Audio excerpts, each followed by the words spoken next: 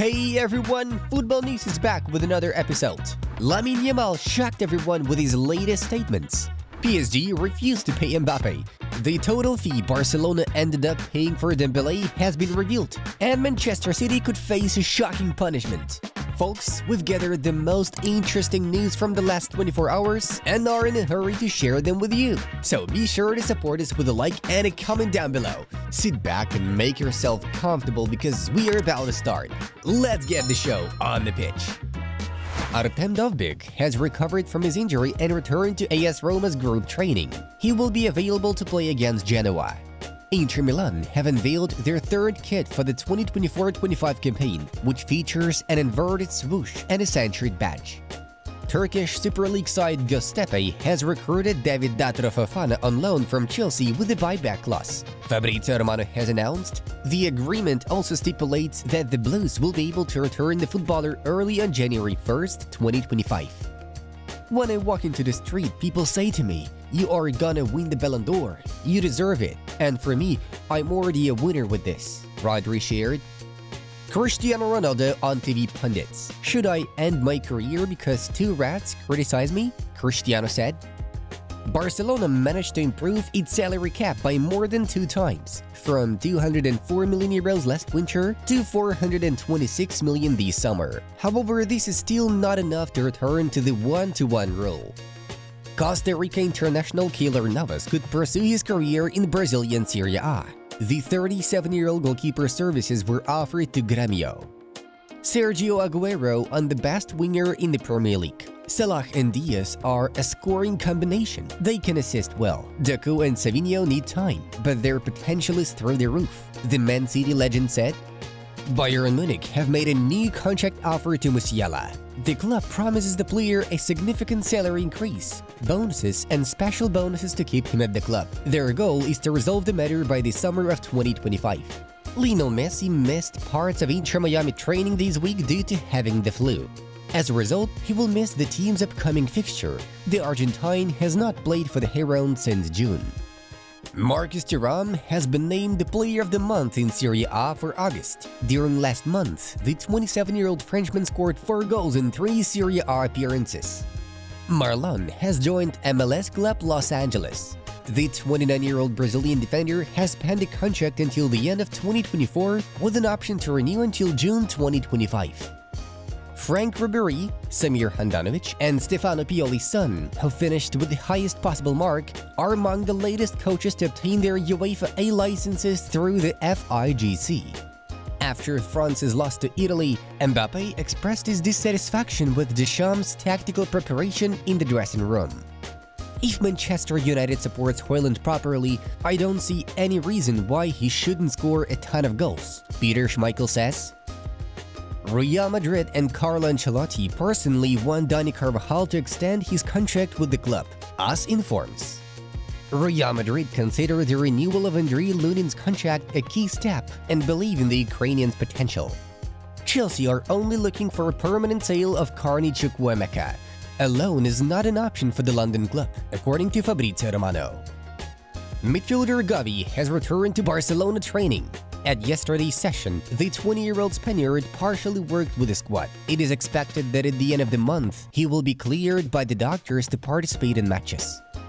Man City have unveiled a new jersey in honor of the 30th anniversary of Oasis' Definitely Maybe album. The shirt was presented in collaboration with Noel Gallagher, who is known to be a huge supporter of the club. La Liga has created a special cross-arm gesture to indicate racism by referees. The third time it is demonstrated, the game can be stopped prematurely. Tottenham midfielder Rodrigo Bentancur has been charged by the Football Association for saying to Son Heung-min that all South Korean people look the same. Kevin De Bruyne did not want to be the captain of Manchester City. He believes that the traditional captaincy is not his thing. The Athletic writes, I've noticed that many things about me have been made up recently. The only thing I'm doing is working hard, training, and being ready for wherever I play. I'll talk very soon to clarify everything. The important thing for me is to work and be serene. I've received several offers and I'm looking for the best project for me. Mario Balotelli shared his plans for the future. If Vinicius doesn't win the Ballon d'Or this year, it'll be next year, but he will win it, claimed La Liga president Javier Tebas. I don't understand what Ibrahimovic does, what his responsibilities and his competencies are at AC Milan. Zvonimir Boban slams Zlatan's role in the club. I word rightly for his performances in the Premier League, the Champions League and the Euros, Fabio Capello admitted. Guys, now it's time to leave a like to this video and subscribe to our channel. Thank you!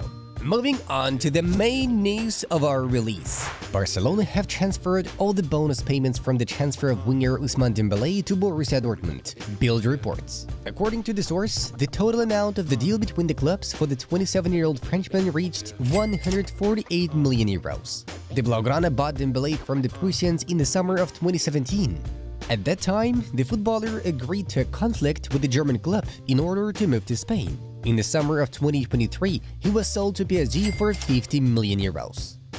Barcelona are looking for a right back, one of the candidates in the winter, according to Mundo Deportivo. According to the source, the Catalans initially intended to buy Joao Cancelo from Manchester City permanently, but he eventually joined Al Hilal. As of this moment, Jules Koundé is forced to play on the right side of the defense. Therefore, the club is considering Oscar Mingueza, whose agreement with Celta Vigo lasts until 2026. The Spanish Giants have a buyout option for the 25-year-old Spaniard worth 9 million euros. The preferred option is Bayern Munich's Joshua Kimmich, who may become a free agent in June. Arsenal head coach Mikel Arteta has extended his deal with the London club, the Gunners press office reports. It is indicated that the Spaniard agreed on a long-term contract. Earlier on, it was reported that the agreement with the 42-year-old Spaniard would be extended until 2027. The Spaniard led Arsenal back in December 2019. Under his guidance, the North London club won the FA Cup and twice won the FA Super Cup. In the 2023-24 campaign, Arsenal finished second in the Premier League table, two points behind Manchester City. Arteta's previous deal with the Gunners was set to run until the summer of 2029. I want to do much more at Arsenal than what we've already achieved, Mikel declared. On September 16th, court hearings will begin in the Premier League's case against Manchester City over 115 cases of financial fair play violations, Sky Sports reports. The hearings are expected to last up to two months, and the decision of the Independent Companies Commission will be made public only in March 2025 or later.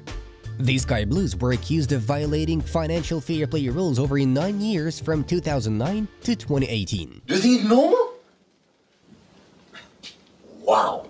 Ahead of the start of the hearing, the Evening Standard has revealed the most likely punishment for City if they lose the case.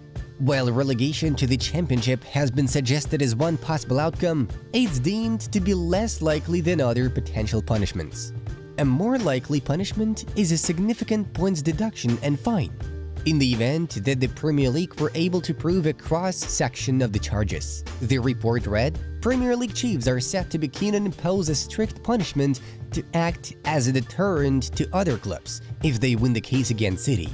Several sources have told the Evening Standard that a points deduction in the region of 30 could be handed to the Premier League champions. However, the likelihood of the Premier League dealing out retrospective punishment, such as removing titles and handing them to other clubs, is said to be remote. PSG have no wish to accept the decision of the French Professional Football League's legal commission, which ordered the Red and Blues to pay 55 million euros to its former forward Kylian Mbappe, who now represents Real Madrid, within 8 days. The sum of 55 million euros before taxes includes Mbappe's salary for the last three months at the Parisian team, part of the signing bonus, and an ethical bonus that PSG still owed to Kylian. The Parisians believe that they acted within the law, so they refuse to pay, which is why they are ready to take the case to court.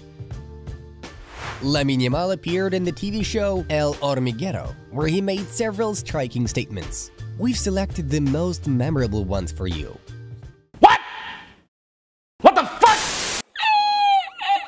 Barca, being league leaders, hurts in Madrid. I hope that people in Madrid appreciate me for what I have done in the national team. I will own a Kings League team. I'll have my president, my players, everything. Messi gave me some of his powers during that photo shoot, but I still have a lot to offer. I want to never leave Barca. I want to become a legend of this club. I like being compared to the best player in football history, but I want to be myself. Reaching Messi's level is impossible. It's not worth saying anything. I have nothing to respond to. We know our values and it's not worth it. The last answer especially pleased Barcelona supporters who began to refer to Vinicius. They expect him to cry about like Vini. The other guy would have cried, we all know who. Vinicius should come learn from a 17 years old. And that's it for today, folks. What do you think of Yamal's answers to hot topics? It seems to us that the guy is indeed mature beyond his years. Friends, we invite you to meet another guy who is also mature beyond his years. Say hello to the 12-year-old new Fabrizio Romano, winner Chipamba. Click on the link and get motivated by his incredible story. Have a great time watching. Bye-bye.